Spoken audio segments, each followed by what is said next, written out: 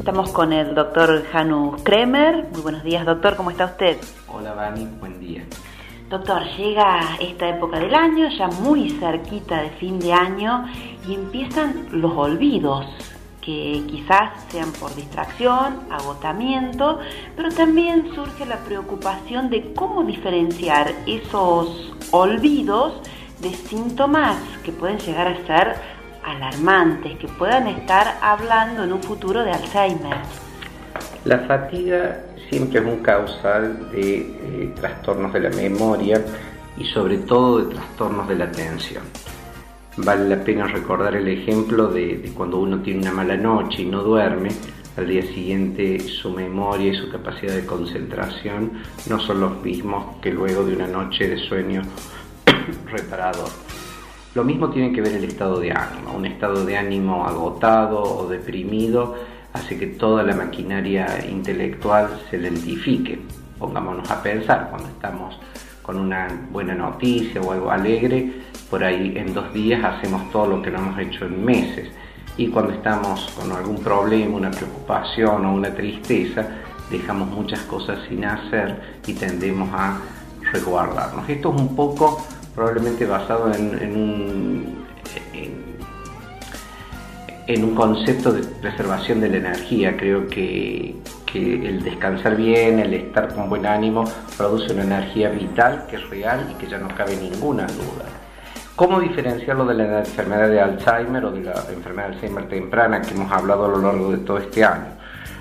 Eh, la pérdida de memoria por cansancio es una pérdida de memoria puntual, es una pérdida de memoria que apareció de golpe, nunca habíamos tenido este problema antes y desaparece rápidamente luego que tomamos un descanso y uno vuelve a funcionar igual.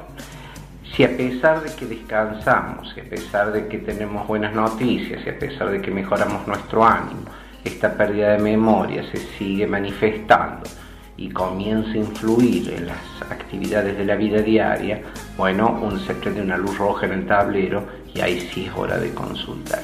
El concepto de estar atento es a una pérdida de memoria o a un trastorno de atención y concentración que impliquen un cambio con respecto a lo que uno era y que no se modifique, como dije antes, con el descanso eh, que sea necesario. Por ejemplo, doctor, ¿Qué, sería un, olvido que pueda ser un síntoma de ir a consulta? Bueno, por ejemplo, si hoy me olvido, eh, por ejemplo, yo me olvido de recetarle a un paciente una medicación importante para la tensión arterial.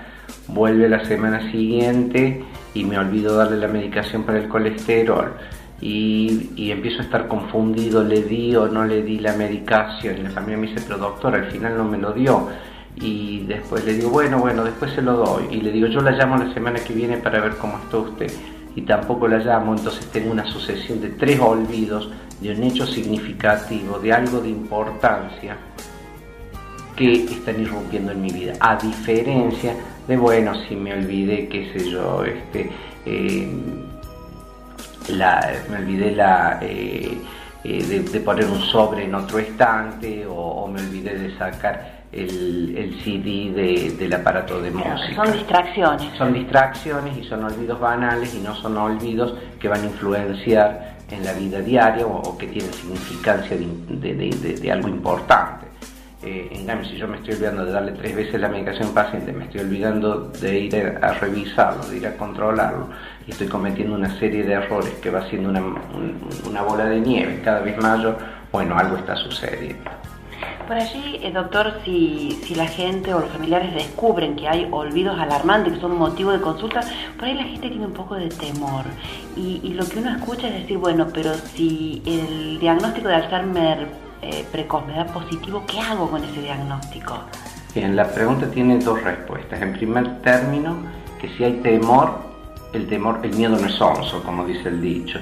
Por lo tanto, tiene sentido consulta. ¿Qué podemos hacer? Pues se puede hacer mucho. Eh, en primer término, eh, exagerar aún más los cuidados físicos del cuerpo, todos los controles cardiovasculares, que son la dieta, el ejercicio, la actividad intelectual, mantenerse bien de ánimo, mantener una vida social adecuada, podemos, nunca es suficiente lo que hacemos para nosotros mismos, siempre podemos mejorar todos esos aspectos muchísimo.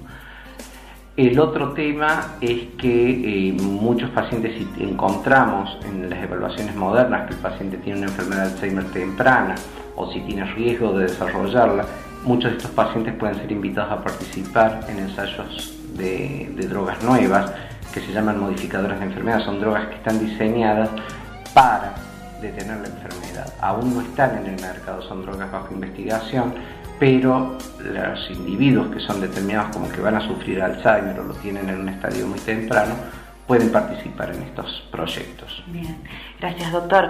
Doctor Janus Kremer, para finalizar y como siempre le pregunto, ¿dónde puede ubicarlo la gente aquí en Río Cuarto? En Río Cuarto eh, yo vengo una vez por mes al Instituto de Villa Dalcar de Psiconeurociencias y en Córdoba en el Instituto Kremer. Bien, doctor, muchísimas gracias y eh, a fines de noviembre me gustaría convocarlo para que nos dé algunos consejos de cómo manejarnos en las fiestas de fin de año con los pacientes con demencia avanzada. Fantástico, muchas gracias. Gracias, doctor.